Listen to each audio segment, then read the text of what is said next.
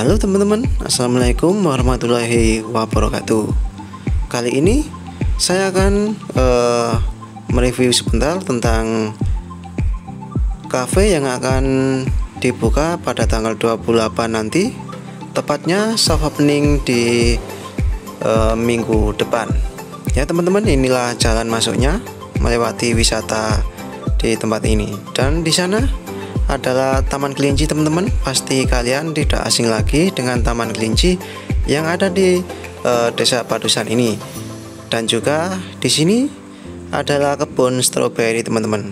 Nah yang di atas sana itu adalah persiapan untuk uh, nantinya teman-teman uh, untuk pembukaan pada tanggal 28 nanti.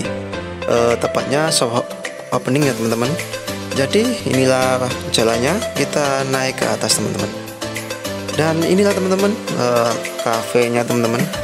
Uh, yang konsepnya semi outdoor juga ini teman-teman.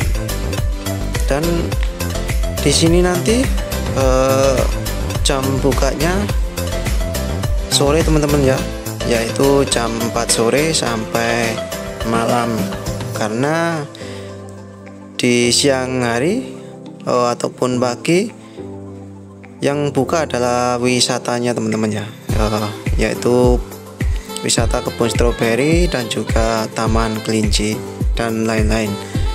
Untuk kafenya sendiri bukanya jam 4 sore.